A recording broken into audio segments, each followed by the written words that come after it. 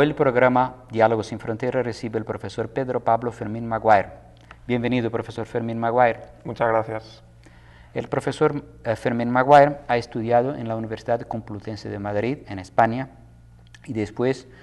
continúa sus estudios en Brasil, en la Universidad de Campinas, en la maestría, siempre con el tema de investigación principal sobre la dictadura franquista en España y el papel de la arqueología en el estudio de los campos de concentración durante la guerra civil 36-39 y después de la dictadura. Entonces, profesor eh, Fermín Maguire, eh, me gustaría empezar con esta cuestión,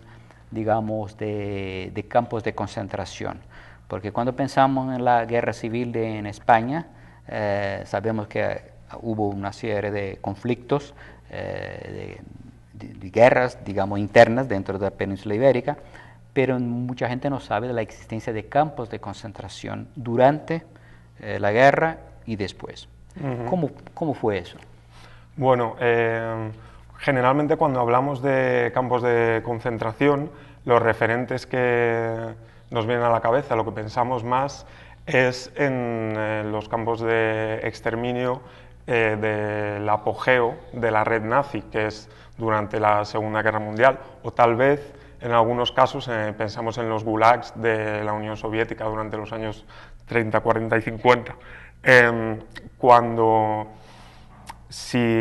estudiamos eh, la historia en una duración un poco más larga,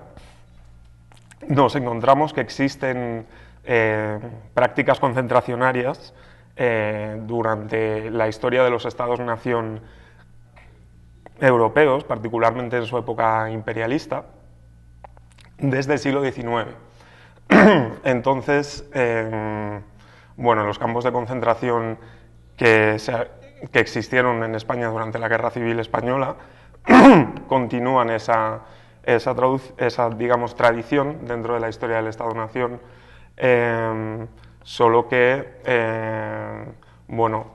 sucede que aparecen en mitad de una época de conflicto considerado como interno en la década de los años 30, durante la Guerra Civil, con la declaración del estado de excepción, que es también el contexto en el cual aparecen, eh, digamos, prácticas concentracionarias, tanto en Alemania como en la Unión Soviética, como en la historia del imperialismo europeo. Sí, bueno, entonces la cuestión es que la, hay una asociación entre campos de concentración y el Estado-Nación moderno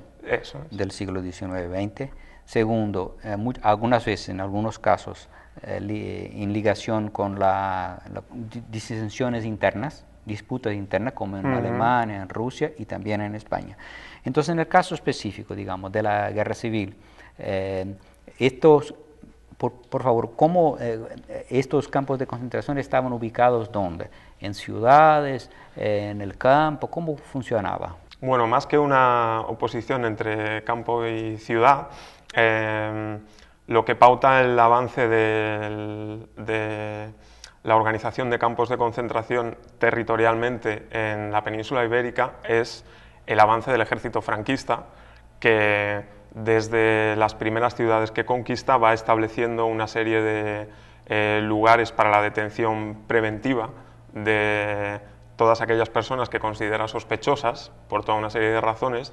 eh, y es en esos lugares eh, donde a medida que el ejército franquista va avanzando y va asegurando su poder a nivel local, tanto en ciudades como en ciudades menores, como a veces en, lugares aislados, va estableciendo eh, una serie de, espacios aptos para, o que considera aptos para eh, la vida de aquellas personas de las cuales el ejército franquista eh, presume eh, una condición de enemigos. Mm. Entonces, em, desde, desde el verano de 1936, que es cuando empieza la, guerra civil y el ejército franquista eh, conquista plazas en el norte de África y en, y en, el sur de la península ibérica, va seleccionando una serie de edificios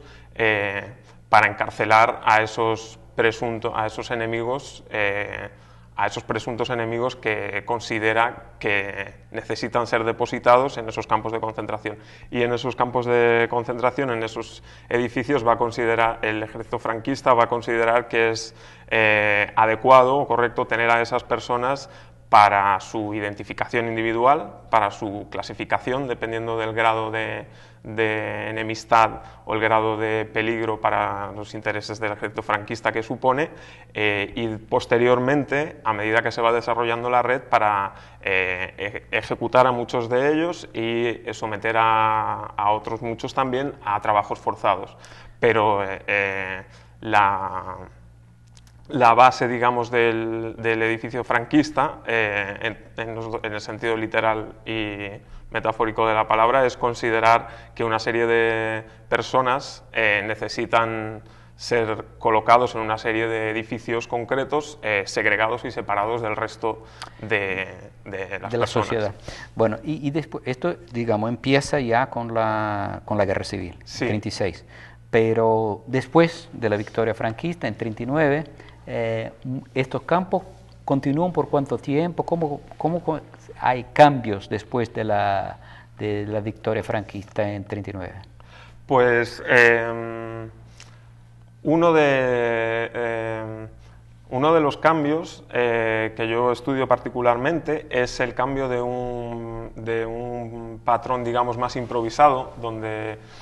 los edificios se van, digamos, seleccionando en base a, las posibilidades más inmediatas eh, para un patrón de, mayor planificación, digamos así, para un patrón más eh, estructurado en la línea de los campos de concentración que consideramos más clásicos, como los alemanes, por ejemplo. Entonces, en ese primer momento, hasta el, hasta el año 37-38, que es cuando la guerra civil se va industrializando. Antes de eso, los campos de concentración son eh, eh, frontones a veces para practicar deporte, a veces son plazas de toros, lo cual en, el país les da una serie de connotaciones particularmente eh, aterradoras para muchas personas otros de ellos son simplemente prolongaciones de edificios penitenciarios ya existentes y eh, durante, después, durante el año 37 y 38, cuando la guerra civil se va industrializando, eh, en el noroeste de la península ibérica y en el norte, Cantábrico y Atlántico, eh, se, va, se va atendiendo a los problemas específicos de segregar a tantas personas de manera planificada y de manera industrial. Entonces empezamos a ver una mayor presencia entre los tipos de campos de fábricas, eh, de edificios eh, que ya remiten, como, algunos, como las plazas de toros, a un tipo de conformación y un, número de personas propio de una, de una sociedad masificada o, en este caso, de una guerra masificada. Bueno, esto es interesante un paralelo con otra situación histórica diferente, por ejemplo en Chile en los años 70 con la dictadura de Pinochet, también ha empezado con el Estadio Nacional de Fútbol y después ya sí em, lugares más eh, especializados. Así que hay, parece que hay también una especialización. El primer momento las autoridades utilizan lo que está disponible y después ya van especializando. Bueno, ahora vamos a cambiar para un, tema, digamos, propiamente científico, que es la cómo la arqueología eh, puede y trabaja con este tema. Porque mucha gente piensa que la arqueología está solo preocupada con las cosas muy antiguas, la prehistoria más antigua, las pinturas rupestres,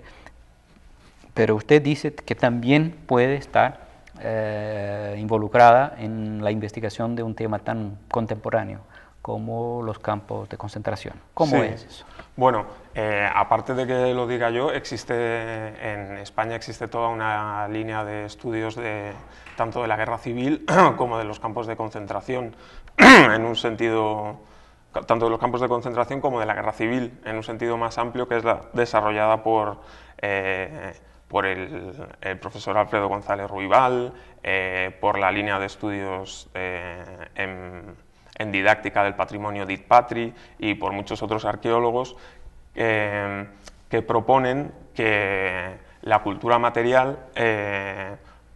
es tan expresiva y tan informativa sobre eh, muchos aspectos de la vida concentracionaria como eh, los archivos de las instituciones que gestionaban estos campos o eh, las memorias producidas sobre estos campos por testigos o por personas que sobrevivieron a los campos. Y la, propuesta específica de, la arqueología de la guerra civil pues es explorar eh, aspectos como la vida cotidiana en el interior de, esos campos, eh, acercarnos a la experiencia material, ¿no? al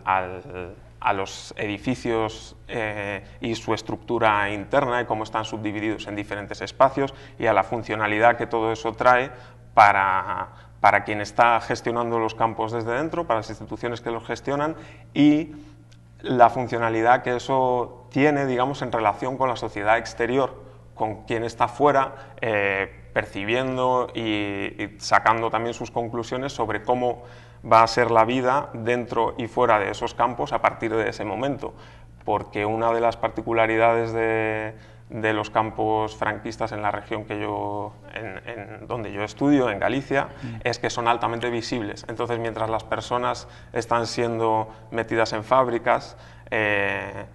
están siendo presentadas también con toda una serie de elementos que los que que los degradan simbólicamente, como es el transporte en carros, como es eh, las propias fábricas, ¿no? que son para mercancías. Y la arqueología, al, enfocarse en la cultura material, puede contribuir en esos campos, en la, en la experiencia y la vivencia cotidiana de las personas que están dentro y en la conformación de un, de un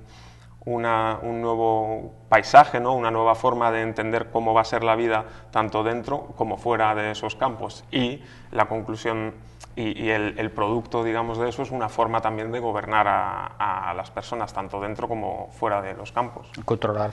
Bueno, profesor eh, Pedro Pablo Perumino Maguire, eh, fue una satisfacción eh, tenerlo en el programa porque estoy seguro que el público que nos está oyendo y asistiendo eh, estará muy interesado en, el, en, este, en este campo de investigación que en, realidad es algo que está solo ahora empezando de,